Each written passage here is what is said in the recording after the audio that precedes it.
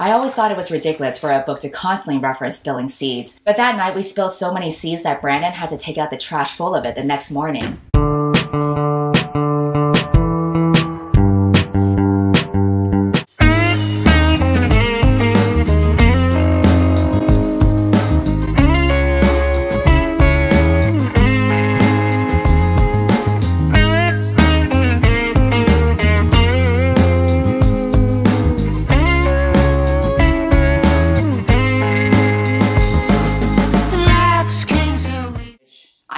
Going through all the videos I filmed over the past year and finally editing these vlogs together. And one of the first things that I filmed was actually a trip that I took with my friends. And as you can tell from the title, I've decided that during this trip, it would be themed around one specific book. And that is A Court of Silver Flames. Just when you thought there's no way I could squeeze any more content from Sarah J Maas's teat, I have found a way to do so. But what is the required ingredients every time we engage in A Court of Silver Flames or any of Sarah J Maas's books? I got the answer for you. That is wine. And that's all thanks to Bright Cellars for sponsoring this video. I actually know nothing about wine, but the good thing about Bright Cellars is that they have a quiz for you to actually get matched with the right wine bottles for you. And they do have hundreds of private label wines that they work with, so it's really nice that they have that quiz. It was super easy. It was only seven questions. Each box is completely unique to your taste palette. So when I got my box, it was kind of cool knowing that no one else has the same exact box as I do. Also, because I'm such a noob, I actually really like the wine education cards that they include. It tells you stuff about tasting notes and suggested pairings, best serving temperature and origins, just really useful information. It's also a lot more sustainable than going to the grocery store and getting wine from there because they have sustainable varieties and biodynamic wine. The packaging is also completely recyclable and plastic free. They are giving any of my followers 50% off off their first six bottle box. So support my channel by following the link in the description, take the quiz, find out what wines are perfect for you. Let's go ahead and start the vlog.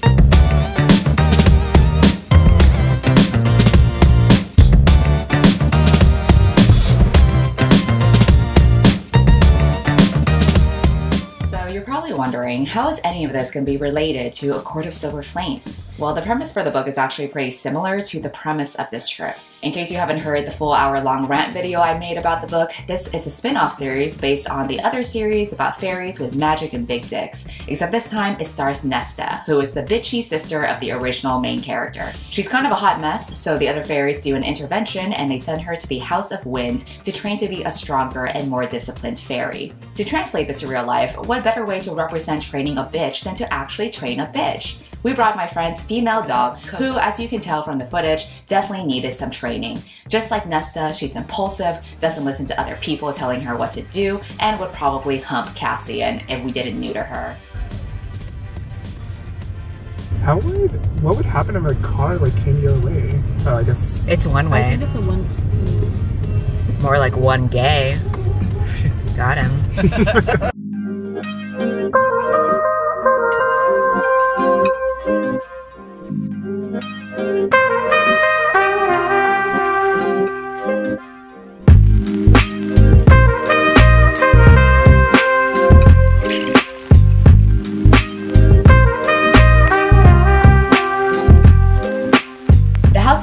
place on top of the mountains where Nesta is staying to train. To follow the theme, we also decide to sequester ourselves into the wilderness by taking a trip to Guerneville, a California town historically known for its logging community. It's also built adjacent to the Russian River, which is fitting considering the series' most annoying couple, Feyre and Rhysand, just finished building their riverfront house, leaving the House of Wind open for Nesta and their friends to live in. The demographic of the town is also predominantly white, just like Sarah J Maas's characters. We rented a cabin outside of downtown Guerneville so we could be surrounded by nature as well. There's a deck that overlooks the creek, and the patio area even backs up to a hill.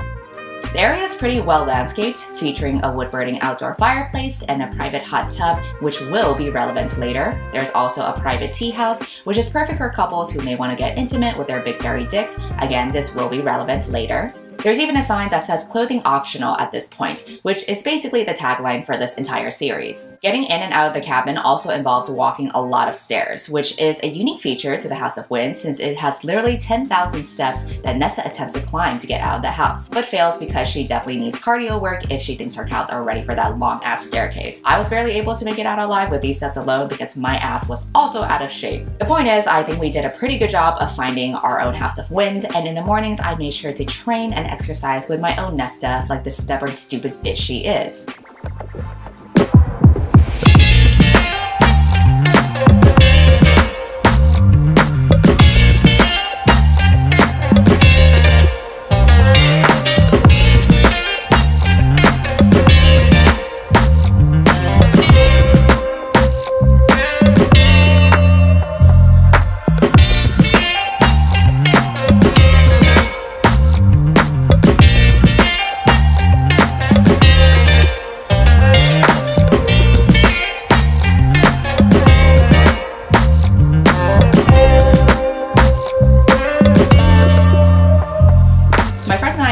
Situated in our own House of Wind. We ignored each other for the rest of the night, and just like the book, no meaningful dialogue was exchanged.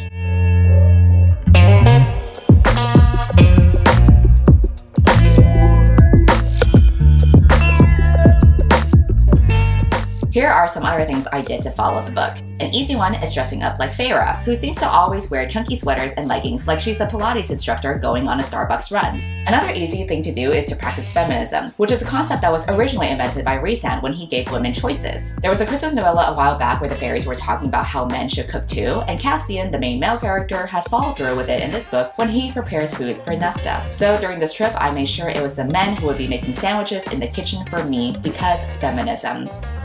There's lots of sexual tension between Cassian and Nesta even when they're doing very normal things. So I channeled a lot of sexual energy when Brandon squeezed that juicy mayonnaise onto my bread and spread that thick over my crust.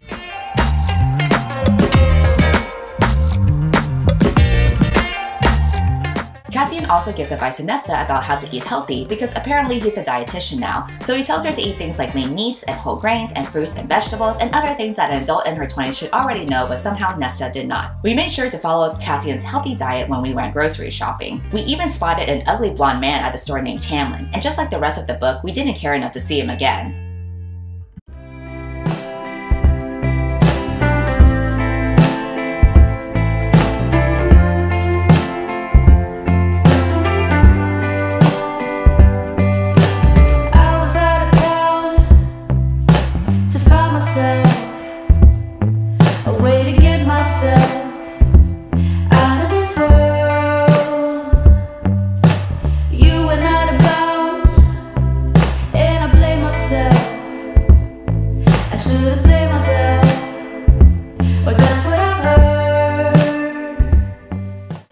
Afternoon, we went out to the park to continue training our Nesta. Let's see how our Nesta is doing now.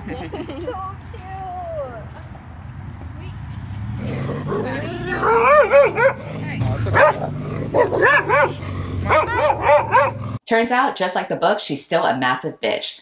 In terms of food, the House of Wind magically conjures up food for the characters, and it doesn't really explain why. So to follow along with the theme, we ordered dinner from a restaurant that sold sushi and hamburgers. It's a combination that doesn't make sense, which is what I often say about the words strung together in this book. The house does give Nesta chocolate cake a couple of times though, which is perfect because I love cake. And now I can say I had to buy cake for business purposes with this vlog. We love a tax deduction. The house also draws her a hot bath, which is where the hot tub in our Airbnb finally comes in. I don't have the greatest footage here because it was nighttime, there was a lot of steam, and I also realized I probably shouldn't use my friends' bodies for content, so instead you can just look at my legs. You're welcome, perverts.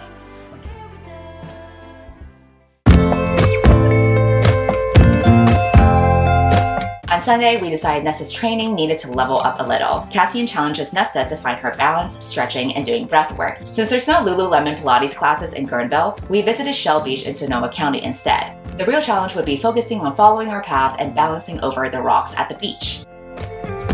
Oh no, with your words on repeat, I will break like a twig right under your feet. Don't you say that you didn't want me, you turned me upside down and then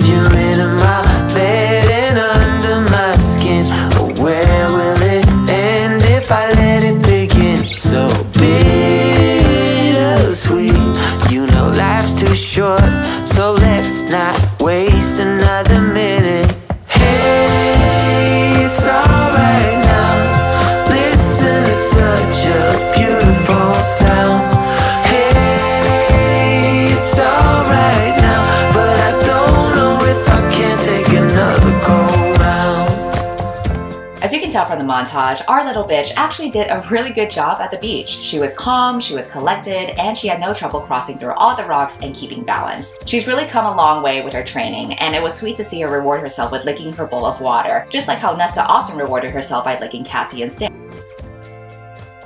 After the beach, we perused through some of the shops nearby since visiting the shops in the village was something Nesta often did in between training.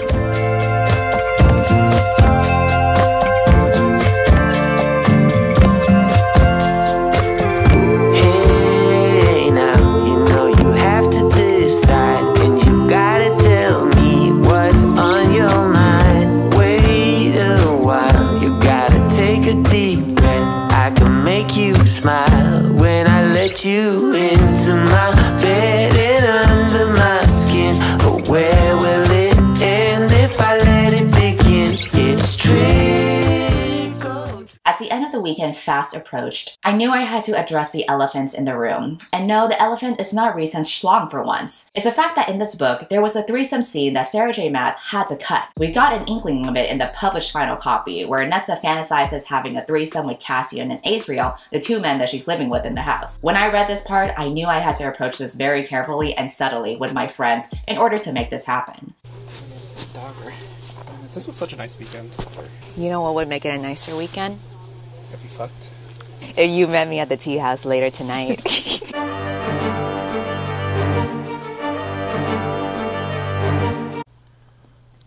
I am a little high right now, as you can obviously tell by my attire, but this is gonna be the perfect setup for the ultimate plan and the ultimate climax of this video. Not that kind of climax, you pervert. Or is it? I have the tea house all ready with the mood lighting and everything, and now it's time to set up the scenario. Time's been moving slowly, so we already in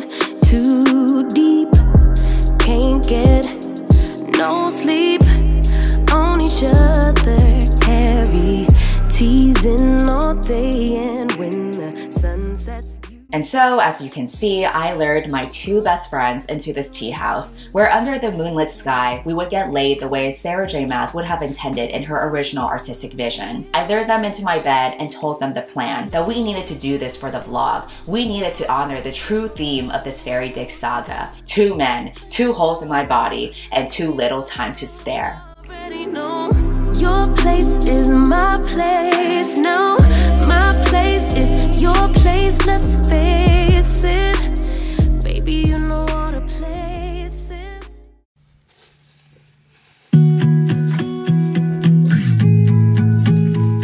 I always thought it was ridiculous for a book to constantly reference spilling seeds, but that night we spilled so many seeds that Brandon had to take out the trash full of it the next morning. We haven't spoken a word to each other since. The entire car ride back was filled with silence, only the drone of the radio that could not drown out the sins we committed for Sarah J. Maas. YouTubers always say, do it for the blog, but we never questioned if we really should or what we would sacrifice afterward. Even our own dog would not look at me, probably smelling the arousal spores that Sarah J. Maas often mentions throughout the book. So many mixed emotions, so many incomplete plots, they were too difficult to answer with reason. All I know is that the weekend had changed all of our lives. The only question I can ask now is was it worth it? For me to do this? And for you to have watched all the way to the end of this stupid vlog? I guess we'll never know.